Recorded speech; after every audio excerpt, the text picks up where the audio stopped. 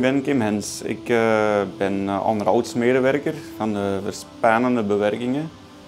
Wij doen vooral uh, onderhoud en herstellingen van de sluizen en de bruggen. Het demonteren en het monteren van de mechaniek, van de deuren en de bruggen. Ik ben hier ondertussen al 20 jaar in dienst. Ik heb al redelijk wat ervaring opgedaan. Dat is voor mij ook wel plezant. We hebben hier ook wel verschillende uitdagingen dat wij kunnen doen, omdat wij gefusioneerd zijn.